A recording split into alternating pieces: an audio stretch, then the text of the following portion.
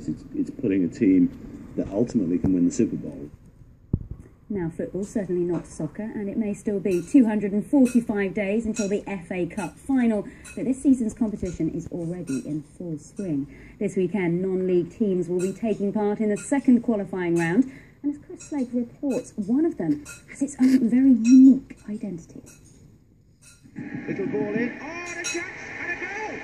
20 years ago, Romania lit up football's grandest stage. Romania carry the European challenge into the quarter-final. Today, in the less glamorous setting of the FA Cup qualifying rounds, a new generation of Romanians are living their own football dream.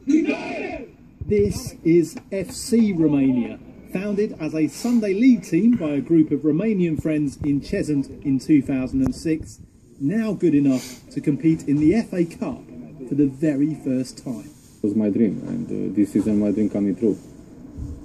So I understand uh, what you mean for all English people. FA Cup is something special. It's, you can't, you can't, uh, you can't really say it in words. FC Romania's progress has been rapid. In just eight years, they've gone from what's effectively the 16th division of English football to the ninth. That and their impressive FA Cup run has started to capture the imagination of the locals in this corner of Hertfordshire.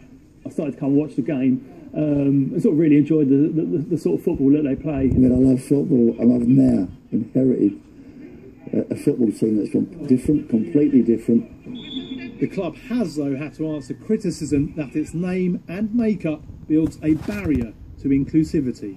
We've got two English guys on the books, we've got Congolese gentlemen, and uh, we've also got a Bulgarian side tonight. So, uh, you know, over time, you know, it started with some expats, some Romanian expats in this country, forming a side, just a group of friends, hardworking guys.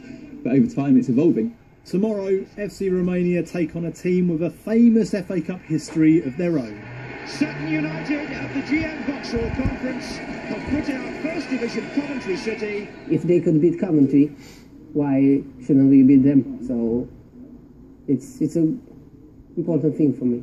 Maybe our dream will be end or will be continued. You never know.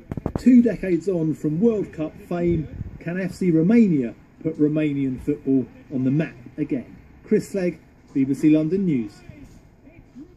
Good luck to all our non-league sides, but if you are looking for that Premier League fit,